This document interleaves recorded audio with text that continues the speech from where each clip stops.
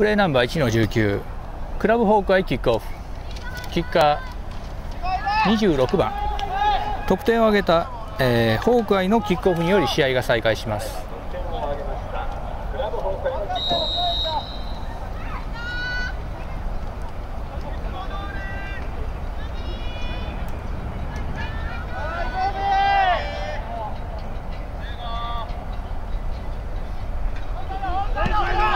オンサイドキック。